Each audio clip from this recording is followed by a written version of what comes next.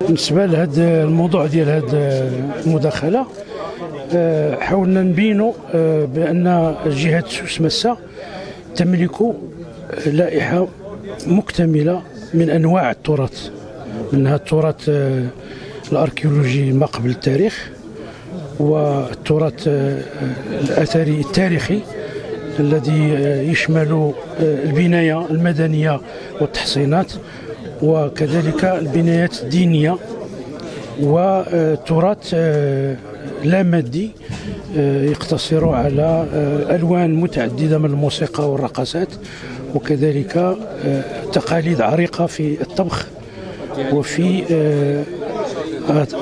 اقتسام مياه الري بالواحات اخترنا واد تمنارت لأنه يشمل كل هذه العناصر في مجال جغرافي ضيق غرب جهة سوس مسا ويمكن أن يصبح منتزها ثقافيا يخدم يعني الاقتصاد المحلي من جهة وهو استثمار ثقافي اجتماعي يساهم في تأصيل الهوية ويساهم أيضا في الرفع من مستوى الموارد الترابية بجماعتي اقرد وفم الحصن.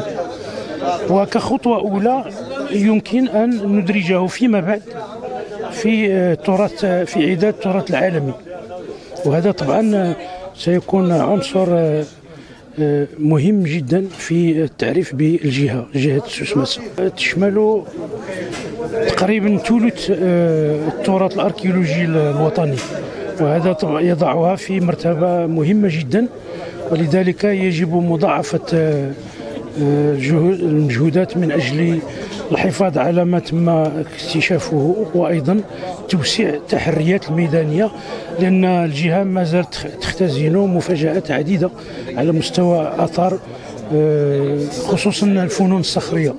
القديمه دور كل كل كل الفاعلين في في أمور الاهتمام بالتراث سواء مادي أو لا مادي وكذلك وزارة الثقافة فيما يخص البحث الاثري متعدد التخصصات.